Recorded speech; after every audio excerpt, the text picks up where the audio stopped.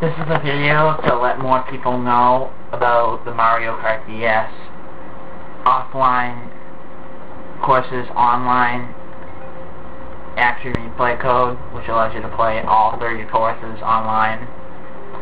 It's for the action replay, and this is for the North American cart, I believe. And how it work, how it ends up working for you might vary depending on what version of the cart you have. For me, it just showed up like normal options, all the courses online. It would be added to the list and everything. Some people have reported it being a white block that you have to select. Some people have it like, I don't know, you have to pick a normal course and then you, you hope that you get the uh, unnamed course. So, for me, it worked perfect. Although you have to hope that you get your course picked, and since nobody else can unless they also have that same code in. But anyway, um, okay, the code's in the description.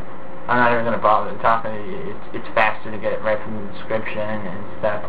So, okay. And you're welcome, people. Because everybody deserves to play all 30 Mario Kart courses online. Okay.